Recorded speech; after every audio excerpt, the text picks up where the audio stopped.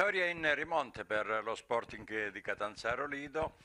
che con, dopo la qualificazione alla semifinale di Coppa Calabria ottenuta mercoledì nei confronti del Real Montepone con questa vittoria si sistema in una posizione di classifica più tranquilla, diciamo un po' lontana dalle zone basse della classifica, quelle che riguardano appunto i play-out.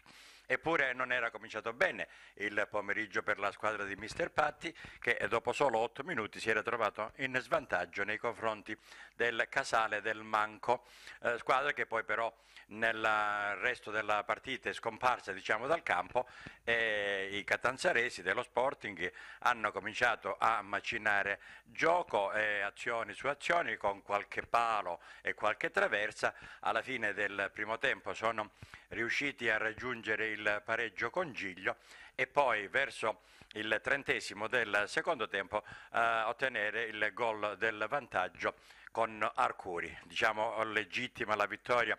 dello Sporting, eh, anche perché, eh, come dicevamo, proprio la squadra cosentina non si è più fatta vedere dopo il gol iniziale e la possibilità quindi adesso per eh, Mister Pat di poter programmare questo il nuovo inizio di campionato, questa nuova eh, zona, questa nuova fase che eh, riguarda intanto il finale del girone di andata e la mh, partenza del girone di ritorno con quello che dovrà succedere nel corso del recupero. Vedremo se nel corso anche della eh, stagione di questo mese di dicembre ci potrebbero essere anche delle nuove eh, acquisizioni da parte della squadra catanzarese che potrebbe rinforzare rinforzare appunto l'organico e, e poi eh, si proseguirà per il resto del campionato. E questo è tutto per la partita tra lo Sporting Catanzaro e il Casale del Manco finita per 2-1 per i catanzaresi.